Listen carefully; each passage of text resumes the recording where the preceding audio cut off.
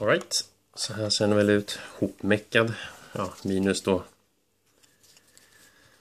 eh, locket, batterilocket här. Så nu kommer en spännande bil. Jag kommer inte ens ihåg ifall den här funkar. Så vi ska se. Provar och... Ja. Uppenbarligen så funkar den. Eller så är det någonting som är Buggeroo. Vi ska se. Vi gör sådär.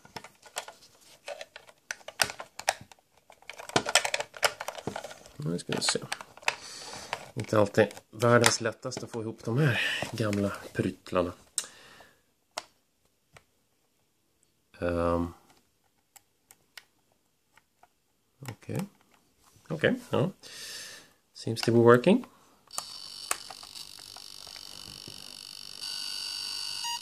Ja, nu ska jag se, jag måste koncentrera mig på en skärm. Hastigheten. Och siffrorna som kommer är antalet bilar man, man lyckas passera. Då ska vi se. Målet är att man ska komma upp till säkert en viss poäng. Då. Sen har jag högsta växeln, fyran. Då går den här hastigheten. Trean. Tvåan.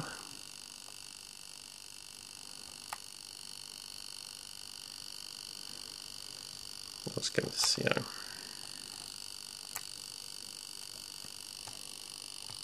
Nej, det här är ettan faktiskt. Där är tvåan.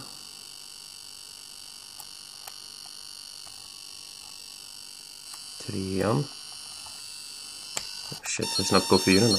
Vad var det där? 69 poäng? Jaha, man ska gå upp kanske fyra gånger då eller någonting. Det är det jag går upp till. Ta reset, start. Ner på ettan igen. Full ös. Oj. Inte världens lättaste det här inte.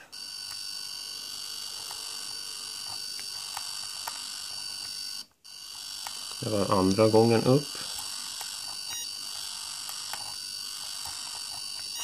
Mm. Tredje gången.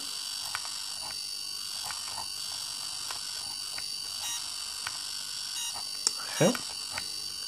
Ja, visst, man verkar få, får man minuspoäng när den... Men...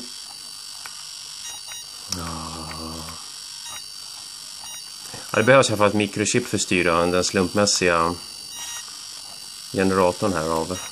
Men kom igen nu, kan jag komma upp. Så eh, ja. 57 ska det väl stå där då.